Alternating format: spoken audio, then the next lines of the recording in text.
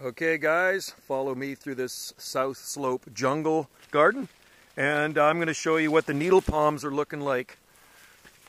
Let's have a look. See, I covered them up with umbrellas so they... Uh, ah. I covered them up with umbrellas. There's the uh, uh, Trachycarpus. I covered them up with umbrellas so they don't uh, get spotting on them. So let's have a look and see how they're doing. And you know what? I think they're looking pretty flawless. Look at that. So it really does. That one's got a few little spots on the fronds, but uh, it does make a difference covering these things up with umbrellas and keeping them dry in the winter. So these are Rhapidophyllum hystrix.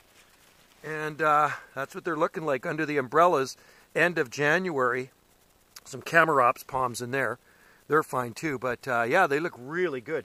I should have covered them up years ago. And uh, let's just go down here. Let's go around. So they look like with umbrellas on them. ah, wet. I don't know what that umbrella is doing. That umbrella is not even doing anything. I don't even know where that's just hanging over here. But anyway, so that's what they look like.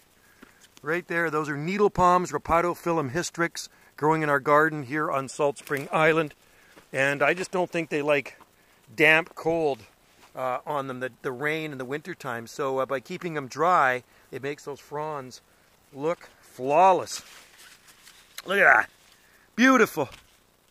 Awesome. I'm very happy with these palms now. We have seven needle palms.